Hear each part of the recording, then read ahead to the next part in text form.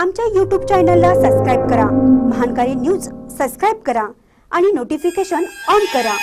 Notification on केल्यामुळे आमचे update आपल्यापर्यंत सतत पोहोचेल.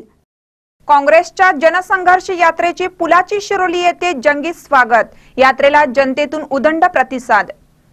काँग्रेसच्या जनसंघर्ष यात्रेची सुरुवात शुक्रवारी कोल्हापूर येथून झाली. आज ही यात्रा हातकणंगले येथील शिरोली पुलाची येथे सांगली फाट्यावर आल्यानंतर यात्रेचे स्वागत ढोल ताशाच्या वाद्यात मोठ्या जल्लोषात काँग्रेसच्या कार्यकर्त्यांनी केलं.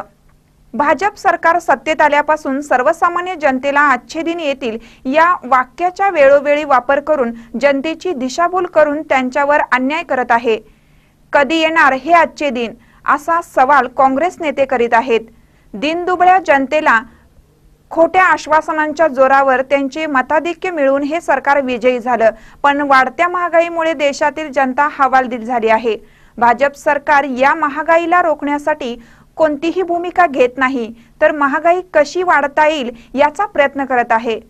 यावेळी या यात्रेत शिरोलीचे सरपंच व या भागातील काँग्रेस नेते शशिकांत खवरे बाजीराव सातपुते सरदार मुल्ला उदय पाटील ज्योतिराम पोर्लेकर विठ्ठल पाटील अतुल सोड सोडगे मुन्ना संडे अमोल सावेकर लियाकत गोलंदाज सतीश सातपुते यांच्यासह शिरोली पंचक्रोशीतील कार्यकर्ते मोठ्या संख्येने उपस्थित होते.